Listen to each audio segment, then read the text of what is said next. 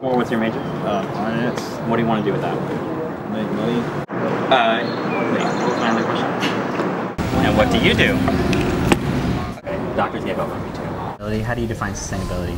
Sustainability.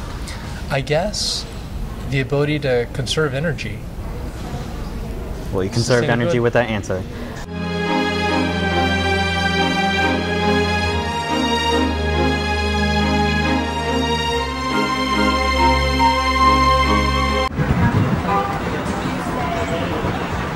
Are out here selling donuts.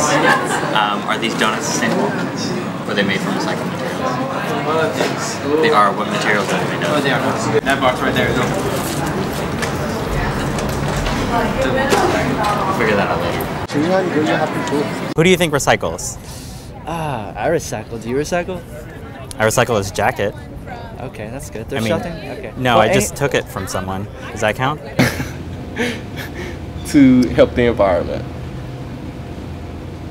I know the anthropology club, you know, tries to do things in April to be a little more friend, uh, earth friendly. So, So just for one month out of the 12, you think that's doing a lot? mm, not really. Yeah.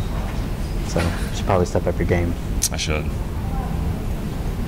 Okay, this is my show. Okay.